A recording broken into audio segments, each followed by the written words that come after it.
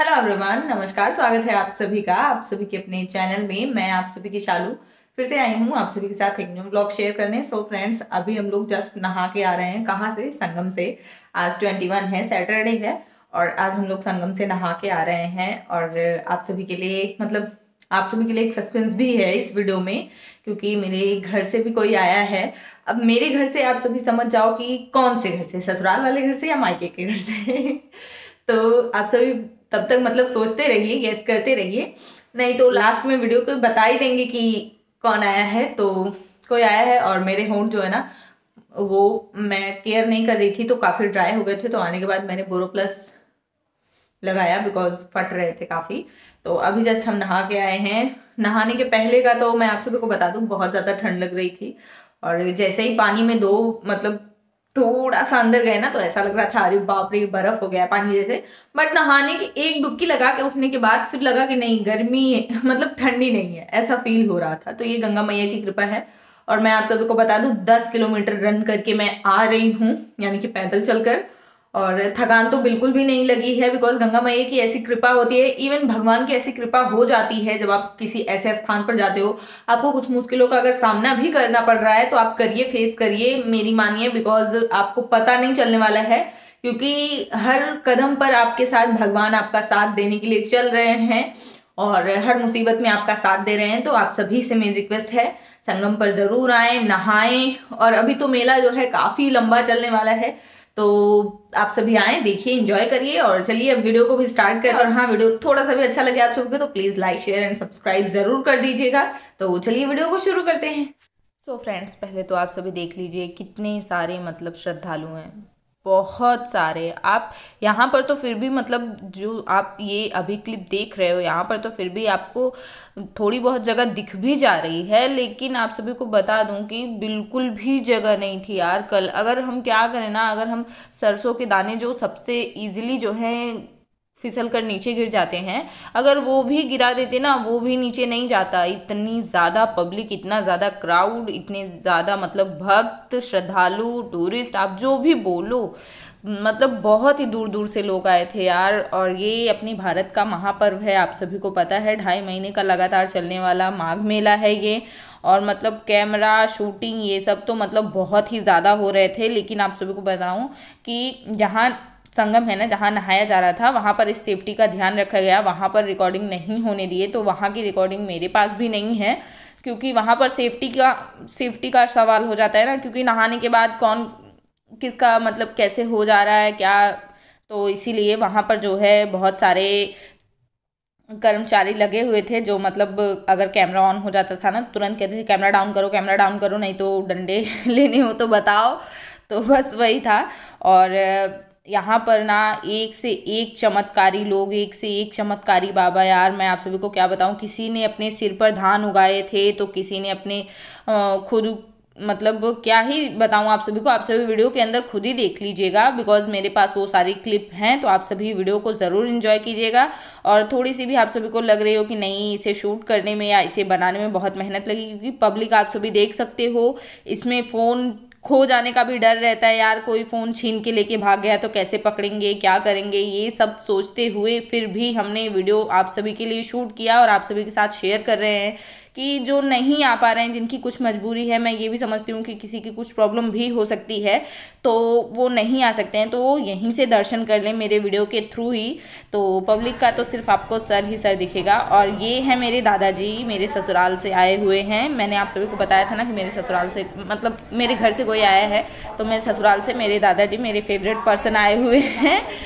दादाजी मुझे मतलब वो जब नहाने जा रहे थे ना तो मतलब बार बार इनको यही कह रहे थे कि मैं आगे हो जा रहा हूँ, इनको बीच में करो, तुम पीछे रहो। मैं आगे हो जा रहा हूँ, इनको बीच में करो, तुम पीछे रहो। कहाँ भगे जा रहे हो? देखो देखो मतलब वो इतना ज़्यादा मेरी केयर कर रहे थे ना, इतना ज़्यादा मेरी केयर कर रहे थे और मैं दादाजी के पीछे पीछे आप सभी देख सकते हो, उनकी पूँछ बनकर पीछे पीछे पीछे पीछे और यार मतलब दस किलोमीटर के ऊपर ही हम लोगों ने मतलब पैदल सफ़र किया है और ये यहाँ पर मोदी जी का पुष्पक विमान बार बार जो है आना जाना मतलब फ्लावर लेके वो गुलाब की पंखुड़ियाँ, ये सब गिराना ऊपर से और संगम पर जा जाकर गिराते थे, रोड पर नहीं गिराते थे क्योंकि जानते हैं कि रोड पर पैरों के नीचे आएगा तो अच्छा नहीं लगेगा तो ये संगम पर जाकर ही गिराते थे और बहुत ही अच्छा नज़ारा था यार और पब्लिक आप सभी देख सकते हो, कोई आज ही नहा के घर रिटर्न हो जा रहा है, कोई नहाने के कुछ दिन बाद जाएगा,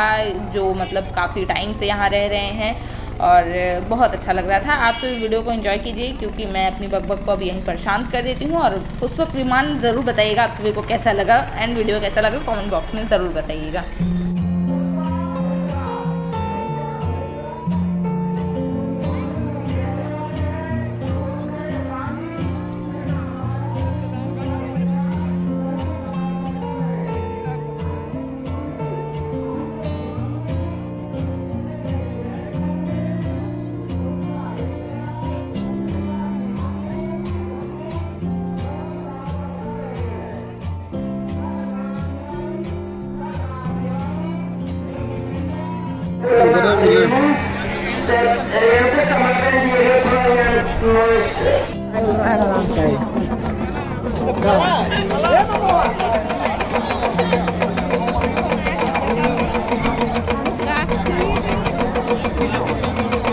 चला चला चला.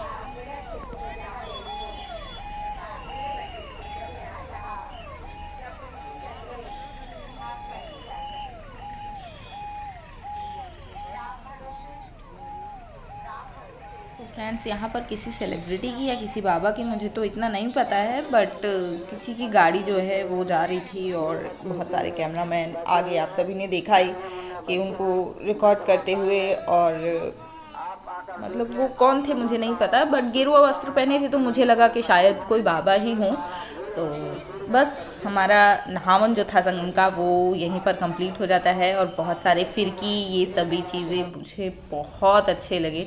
और यहाँ पर जो है, आप सभी अगर ये सोचते हो कि आने के बाद क्या खाएँगे, पैसे ज़्यादा खर्च होंगे तो आपके आने जाने का पैसा भले ही खर्च हो, प्रसाद लेने का पैसा भले ही खर्च हो, बाकी खाने पीने में आपको कुछ भी वेस्ट नहीं करना है।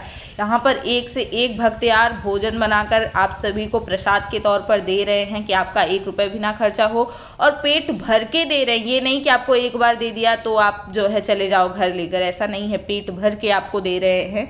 तो आपका कुछ भी नहीं लगने वाला है। आप बस आइए, दर्शन करिए, ऐसे किसी पंडाल में आप सभी शरण लीजिए और वहाँ पर प्रसाद ग्रहण कीजिए। इंजॉय कीजिए। मैं भी जो है नहा धोकर फिर चली आई, उसके बाद दूध गर्म किया डिनर रेडी किया रात का बिकॉज़ बहुत ज़्यादा जो है सर दर्द होने लगा था शाम को मेरा, क्योंकि पैर तो नहीं दर्द हो रहे थे, सर इसलिए दर्द होने लगा ना, क्योंकि मैं जो है गंगा जी में जब मैंने नहाया तो मतलब बाल वाल सब भीग गए और बाल ऐसे ही मतलब लपेट कर पूरा रखा था तो खींच रहे थे, बाल गीला था ना, इसीलिए वो खींच रहा था तो मुझे जो है बहुत ज़्यादा हेडेक होने लगा और ये मैं अपने हस्बैंड से बात कर रही हूँ बिकॉज़ मेरे ससुराल के एक मतलब अब क्या लगते हैं वो रिलेशन में, इतना तो नहीं पता बट वो काफ़ी बुज़ुर्ग हैं तो वो छूट गए थे। वही मैं गंगा मैया से मना रही थी कि मतलब वो मिल ही नहीं रहे थे यार, और अनाउंस भी करवाया बाबू ने, और मेरे हस्बैंड ने काफ़ी देर तक वहाँ वेट भी किया।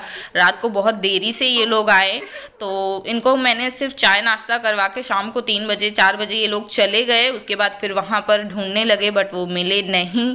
फिर आज गंगा मैया की कृपा से पता चला कि वो घर पर पहुँच गए हैं तो बहुत अच्छा लगा। और मैं बस वही बात कर रही थी और अचानक से लाइट चली गई। आप सभी को वीडियो कैसा लगा प्लीज़ कमेंट बॉक्स में ज़रूर बताइएगा। And please do not skip like subscribe and share bye bye take care good night